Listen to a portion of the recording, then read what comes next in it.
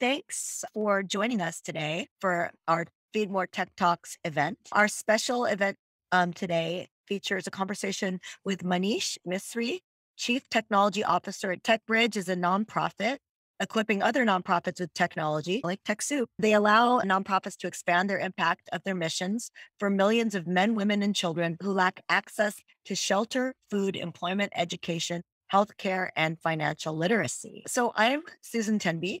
I've been working at TechSoup since 2000 when we launched. And my job title, what I do is I'm the director of global community. So, what that means in practice is I oversee our social media, our forums, our community based events like this one, and the and topical meetups, which we are calling TechSoup Connect. So that's what I do. I've been at TechSoup, as I mentioned, since 2000, always in the online community area. And a little bit more about TechSoup. So the TechSoup Global Network has been equipping nonprofits with the solutions and services that they need to build a more equitable world for over 30 years, from discounted tech products and services to articles, webinars, courses, and more. We deliver the training and tools nonprofits need to be better, stronger, and faster for transforming their communities. So, together with our partners, we have about over 100 uh, global partners in our network. We've reached over 1.3 million nonprofits and NGOs, and we've delivered over $16 billion of tech tools and services to the sector. To date, we are in 236 countries and 39 languages. With the help of our global network partners, we help nonprofits and NGOs all over the world do the important work that they need to do and connect with each other. You can learn more about the TechSoup Global Network at tsgn.org. And so, with that, please, next slide. I'd love to introduce our very smart and established and respected guest today. Being part of the global network means that we cross paths with many smart, passionate people like today's guest expert, Manish Misri. Manish Misri is the Chief Technology Officer at TechBridge. TechBridge is a group of technology minded, people focused problem solvers. We believe that the best way to eliminate generational poverty is by helping to grow the impact of the nonprofits with their boots on the ground. Today, as I mentioned, I'm going to be interviewing Manish about solutions for improving your organization's inventory management. With that, let's dive in. So, Mani, welcome. And I'd love to start with why TechBridge chose to focus on hunger as one of its four four pillars.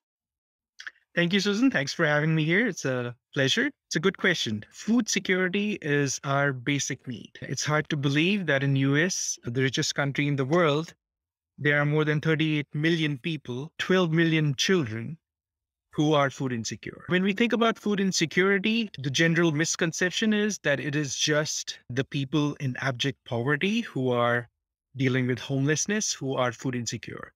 But that's not the case. It could be your normal people who are running into hard times, making hard choices between um, paying a utility bill or putting food on the table, or paying a medical bill and putting food on the table. And the pandemic in the last two years has only exacerbated the situation. Hunger in America, though, I believe is not a food scarcity issue. It's a supply chain management issue.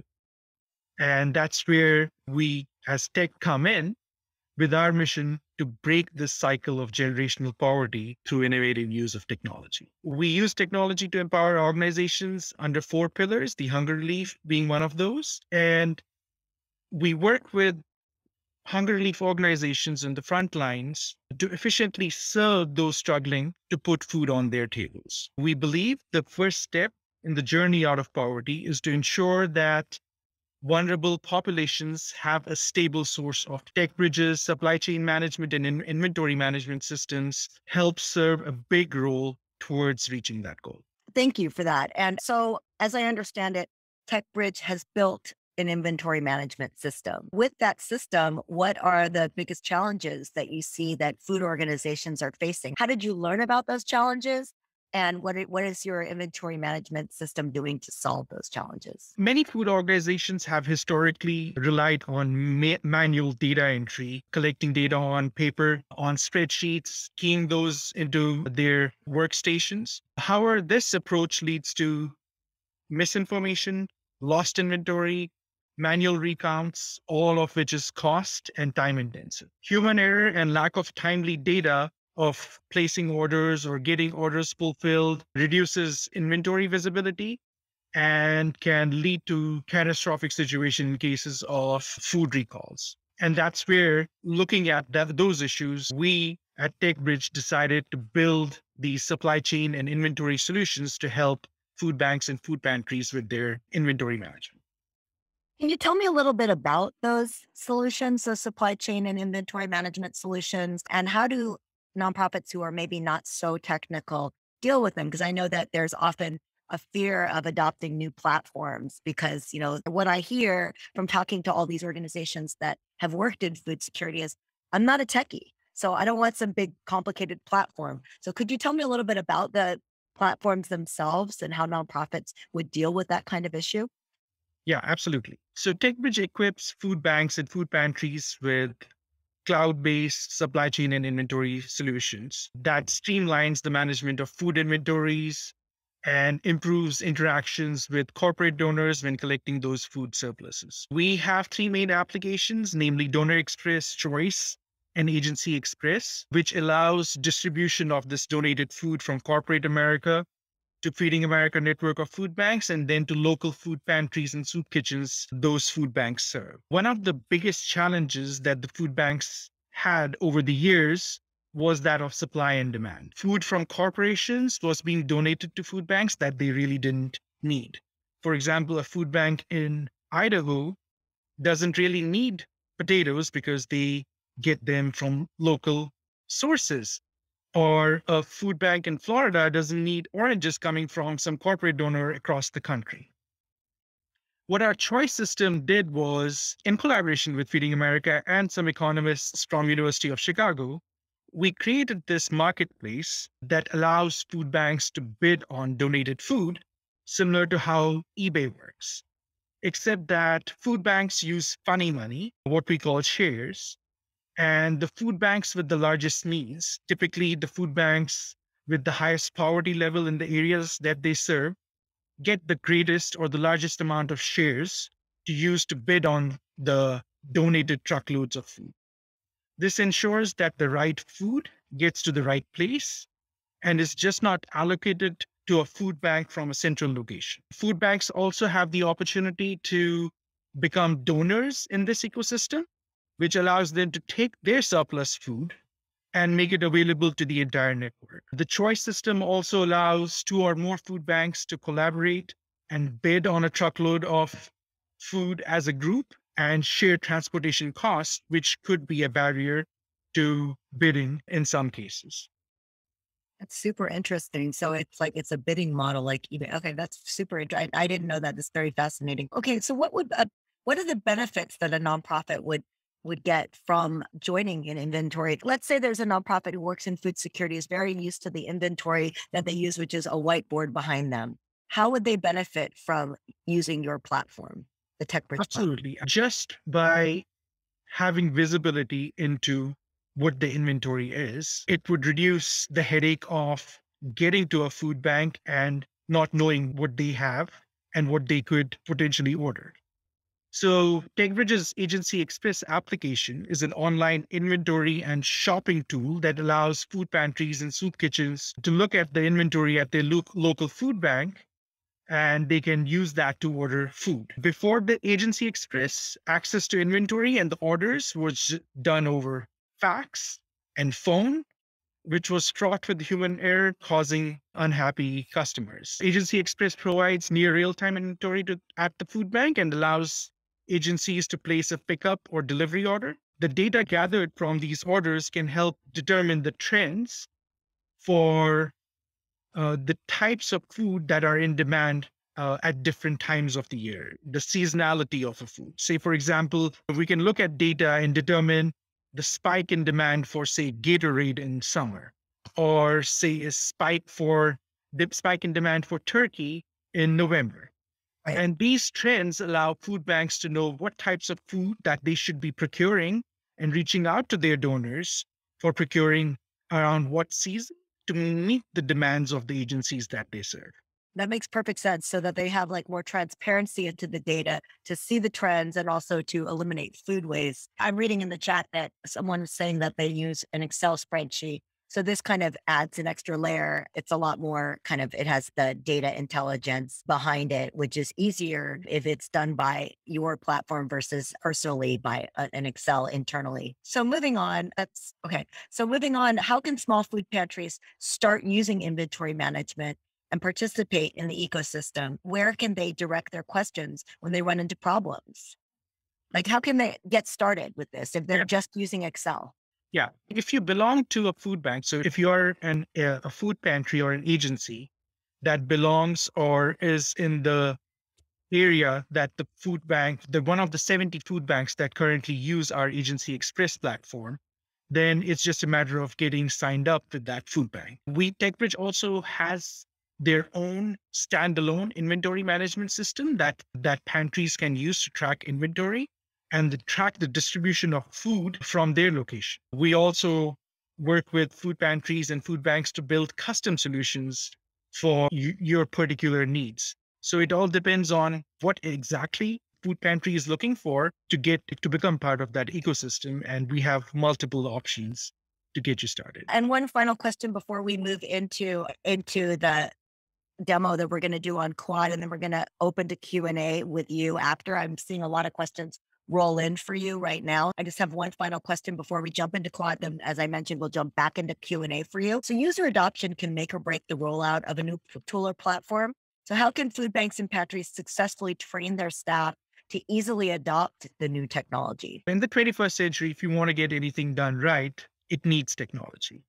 And user adoption is the key for any technology platform being successful. But as technologists, we also have to be conscious about the audience and make sure that the technology being rolled out is not overbearing to the folks on the ground. Usability should be our top priority when building such systems. Volunteers at soup kitchens and food pantries and churches may not have the technical know how of how to navigate a complicated system.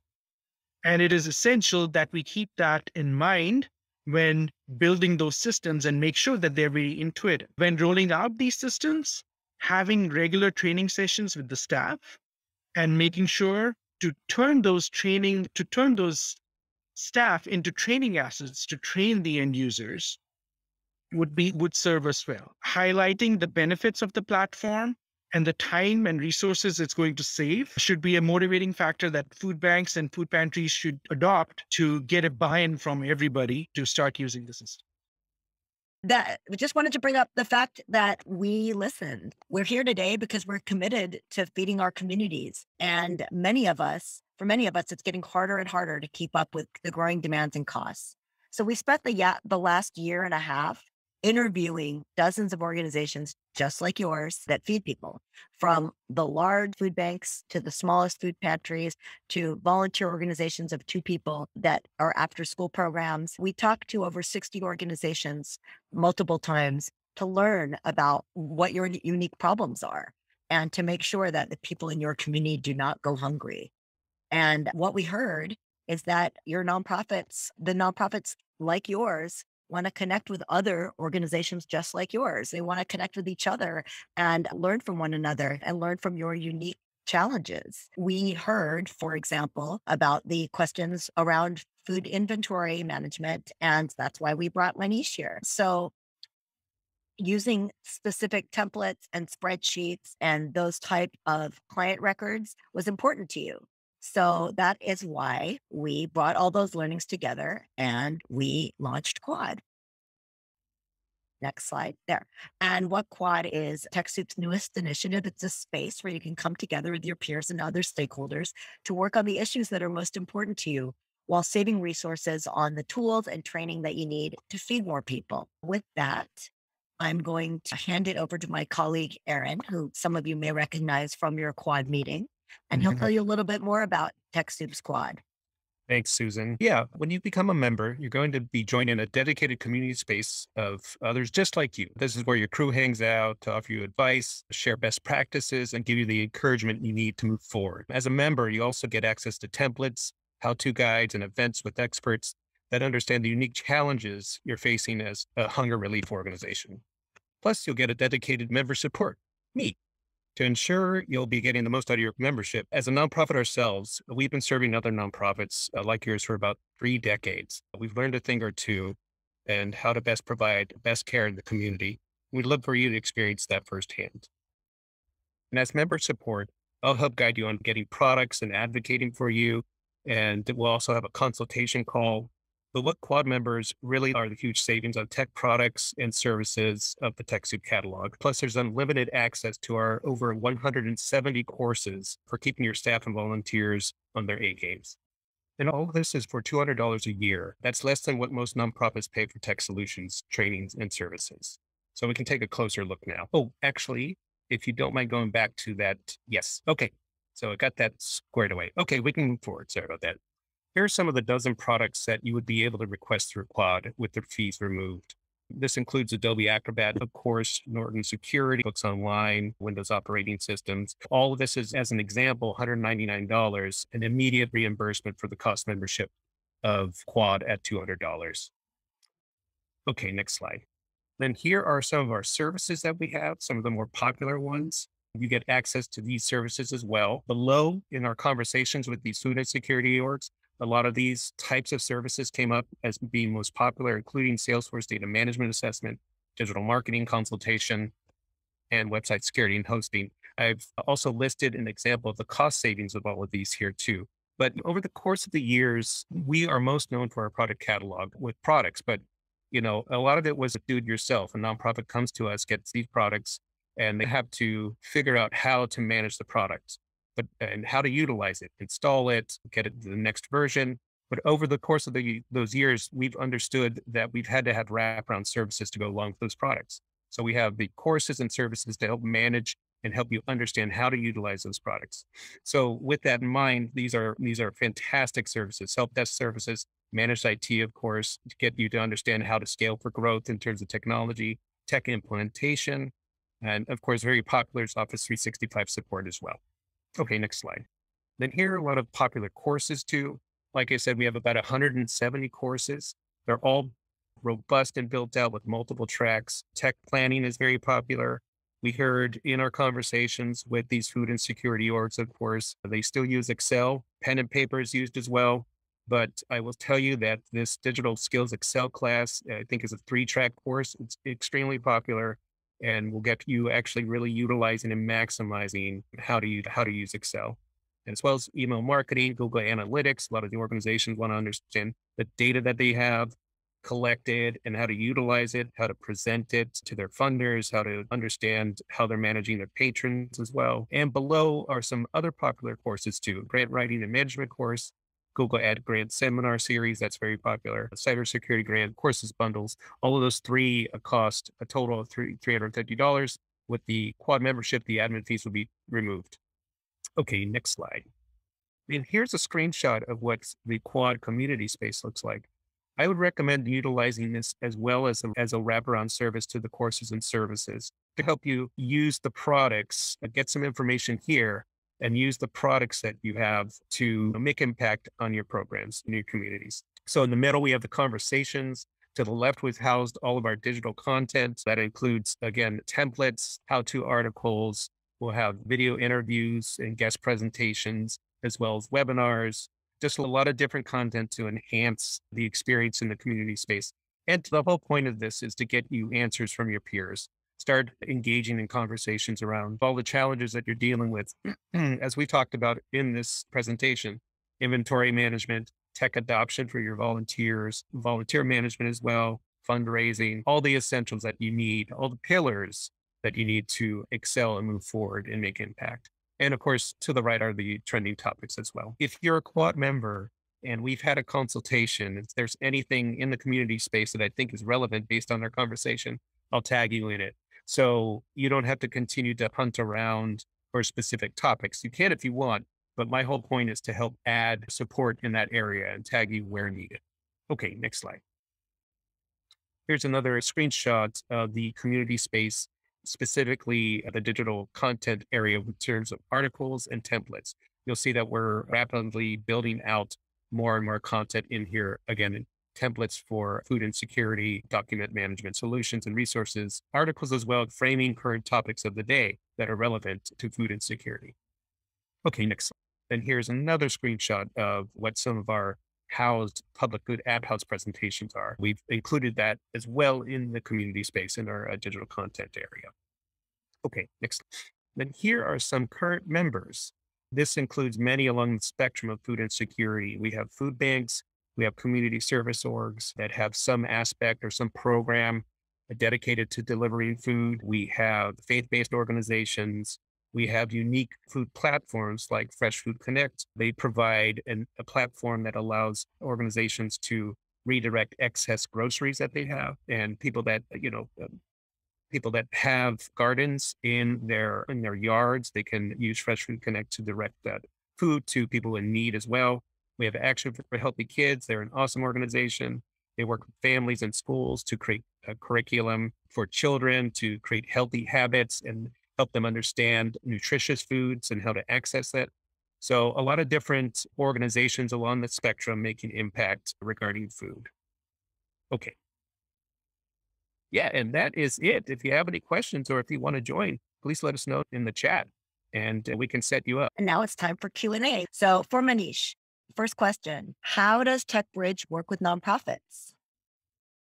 So, TechBridge is a nonprofit. We are a nonprofit ourselves. We are a technology consulting firm that works exclusively with other nonprofits. We focus our products and services under four pillars. We talked about hunger relief, but we also have social justice pillar, hunger uh, support pillar, and workforce development.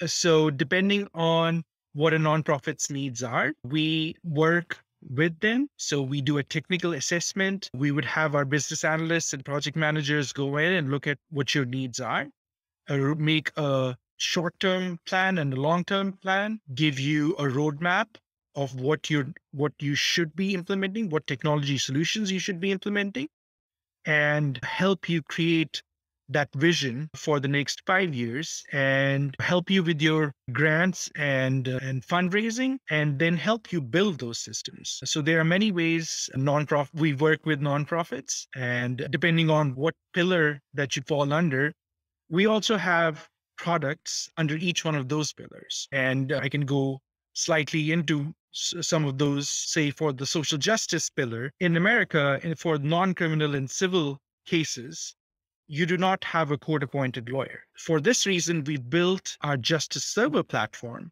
that allows legal services organizations to match pro bono attorneys with their low income clients. This provides a free or low cost legal assistance to prevent families from falling into deeper poverty. Much of the legal work that we support includes housing and foreclosure disputes, family law in cases of child custody or domestic violence, employment, income maintenance, healthcare needs. We also work with homeless support organizations. We have this product called Home Bridger that is an ecosystem of providing partners a client intake system and a client and a data sharing system which will allow the ability to share data amongst all the partners giving them a guide for predictable pathway out of homelessness. Under our workforce development platform or pillar, we bridge the opportunity gap for middle class jobs. We focus on workforce development to change the tra- trajectory of those who are unemployed or underemployed by equipping them with technology, financial, professional skills, and help provide financial stability and path for a lifelong success and self-sufficiency. I, I, uh, there's a lot. I know that you guys do a ton, and it's super. It's all very helpful for nonprofits. But I do want to make sure I address the audience questions. So sorry, but I'm gonna I'm gonna move into the next question if that's okay with you. Please. Okay. Thanks. So the next question is for you again. Right now, I use a pen and paper base. I generally inventory on a monthly basis and deduct as I release items to clients. I'm not sure what the question. Okay. Yeah. I'm not really sure what the question is on that one. So I'm going to jump to the next question. Does Tech, this is from Ben Arledge. Does TechBridge work with organizations outside of the Feeding America network? Absolutely. Okay. And the next question from Kelly What is the food bidding system called? What organizations are eligible to participate and how do they join that system? So it's called the Choice System. It is available to the 200 food banks that are part of the Feeding America network. Only the Feeding America network? That is correct. Okay. And the next question comes from Catherine Fleming to you, Manish. Must the food bank be a member of the TechBridge system? They do not have to be part of, I'm not sure what you mean by the TechBridge system. They can become part of the system. Okay. Uh, so I think that some of the confusion is coming from the perspective that a lot of your solutions are geared towards Feeding America Food Bank members, those that operate warehouses and have intense inventory needs, versus a lot of the people in the room right now are food pantry. So if you could probably speak to how you work specifically with food pantries, I think that will help with the questions being asked right now. Absolutely. Justin. So the food pantries themselves, we have an inventory management solution that is available to any food pantry or any food bank, whether they're part of the Feeding America network or not, which they can utilize to track their inventory. It's an online cloud based solution that you can receive inventory into the system, track dispatch of inventory to your end users. We also build custom solutions, as we have done with other food banks and food pantries, to meet their custom needs. So it all depends on what your particular needs are to see and, and fit you in the right solution. So if our out of the box solution meets your needs, which is our inventory management solution, that would be a way to go. If there is something that you would want a custom solution or a custom mobile app or a custom portal to be built out, TechBridge does that work as well. Thank you. And a, a follow up question on that is what is the cost associated with your platform? We knew that one was coming. Right. We try to keep it minimal. So for typically for food banks, we we charge a, a, a uh, service fee of three hundred and fifty dollars a month to use our platforms. Okay. And the next question is again for you. My food pantry is managing our inventory on paper and spreadsheets and then updating the inventory on a weekly basis. How can I start implementing a real time inventory management for my organization? So, you would need to find an inventory management system that meets your needs because I would imagine doing it once a week is you're not providing your real time inventory to your end users for reporting. So, looking at an inventory solution that is not too complex, because I would imagine it to not be too complex, looking at our solution that we've built, keeping food banks in mind would be a way to go. A follow up question on that from Kelly Siri Sirimoglu again is Could Manish elaborate a bit more on that inventory system? Is there a way to scan items? How does it work? So it does not have scanning ability right now. It is basically an online applica- online application where you have, say, a truckload or a waybill coming into your warehouse. You you enter everything that you're expecting that's on the waybill. You receive that into your warehouse. You then have the ability to track your damaged goods. You can track loss.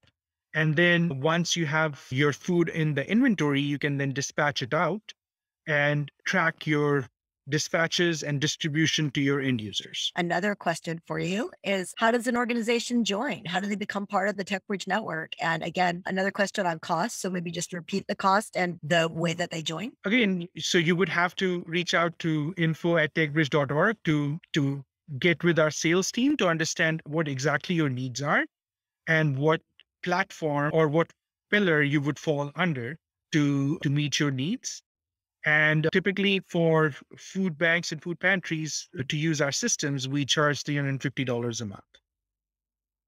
All right. And one uh, one more question from Justin, who just unmuted himself a, a minute ago, a few minutes ago. What's your funding model?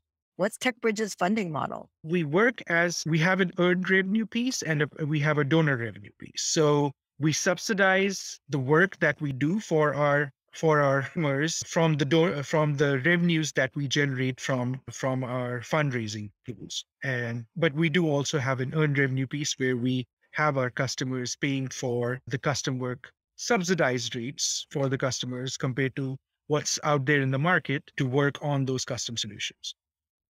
And thank you, Manish. And thank you, everyone, for being part of our community.